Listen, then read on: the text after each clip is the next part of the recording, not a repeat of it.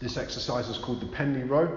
So you're going to need a bar and potentially a raised platform. We'll talk about mobility in a second.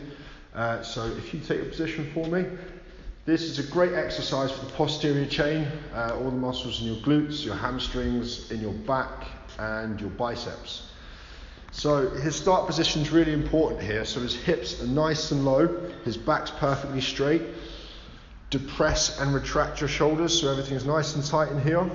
Engage your core, so take a deep breath in, suck your stomach into your spine, and then lift the bar up. Little pause up there, down nice and slow. Good. Look down towards the floor.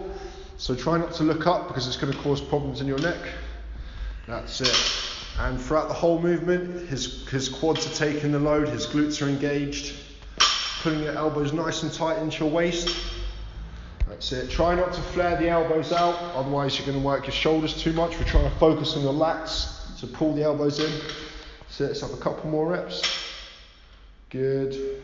So your grip should be about shoulder width apart and your stance should be slightly narrower. One more. Perfect. And you see how his hips haven't changed position throughout the whole movement. And relax, mate. Thanks again. Make sure you go and check us out on Instagram and Facebook. See you soon.